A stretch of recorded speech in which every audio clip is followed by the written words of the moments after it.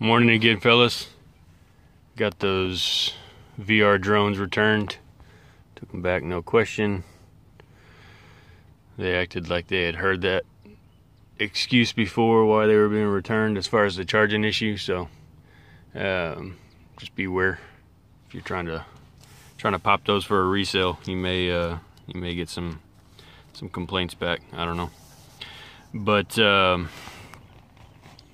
went in there, returned $82 worth of drones and drone accessories, and ended up walking out spending spending a hundred bucks. Wally got me for 20 today.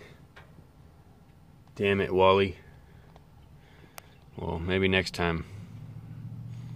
No, uh, we've all seen these knives. I finally got the shark belly I was looking for. Got two of them actually. Uh, seven bucks.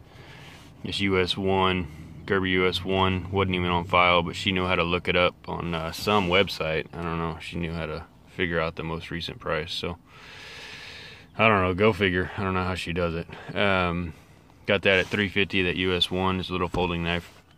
These cams are nice because uh, they got a built-in seatbelt cutter, pretty heavy duty, um, and then they got a like a glass break uh, built into it. So uh, those were cool. Got those for four. Um, I don't know if y'all seen those or not. I, I haven't seen them, but uh, there's the UPC. If not, here's the US one for 350.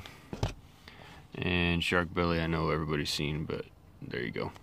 Um, no, I spent 100 bucks because I had to get my uh, license renewed. So, state of Texas really is the one that got me. But I'll uh, talk to y'all later.